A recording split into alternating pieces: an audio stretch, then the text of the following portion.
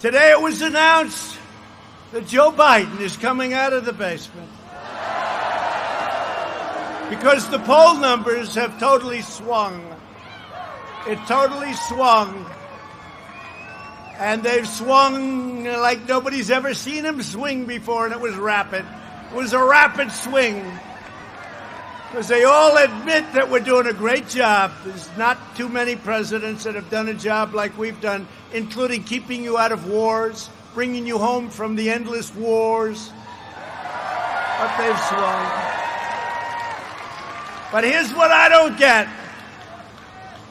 Sleepy Joe's coming out. He said, in 10 days. That's a long 10 days. 10 days. That's like an eternity in Trumpville. 10 days. I, I, view, I view 10 days as like an eternity, okay? So he decided he's coming out and he's going to be out in 10 days. That's a long time. That's a big percentage of the remaining time. That's all right. He's much better off where he is.